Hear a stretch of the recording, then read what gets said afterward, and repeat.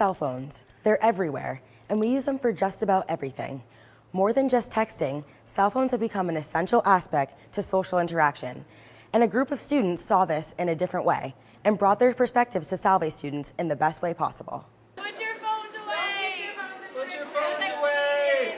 With signs, chants, and handouts, students from the capstone course went to work protesting cell phone dependency during the annual Thanksgiving dinner at Miley Cafeteria.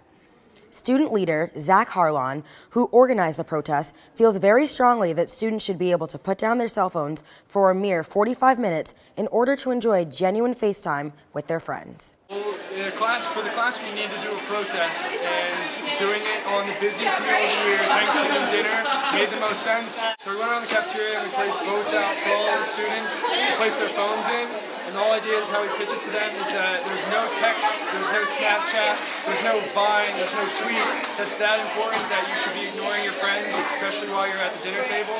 And also, if you're using your phone in that public area, it's most likely to set up your next date, seeing who you're going to see next, who you're going to hang out with next, and you're not really enjoying who you're with, who you're at the table with. You're not enjoying the conversation. You're not even enjoying the meal you're having because you're so concerned about what's happening next. So the idea is just put your phone away for just those 45 minutes and just to be engaged with all the people that are around you. The student protest aimed to draw attention to a cell phone dependency that Harlan believes is harmful to his generation. I mean, this is really important to us just because as millennial generation, we've really talked about how dependent we are on the cell phones and how it's gotten to the point where you can't even have a conversation with your friend without turning around and having them deep in their cell phone, not having any idea what you're talking about.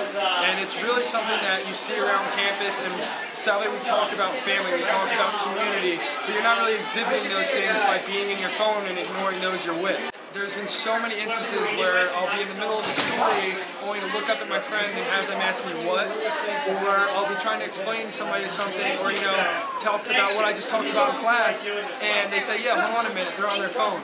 Students putting down their phones for a whole 45 minutes? Some might call it impossible, but even Zach was surprised at the response to the protest. It went very well, uh, contrary to what we were believing, just because of how dependent everyone is on the cell phones. Uh, there were a couple tables where they went up and they said, no, that's silly. But then when I explained, I said, is it silly that you can't, you know, you don't have the willpower to put your phone away for just 45 minutes to enjoy the presence of your friends?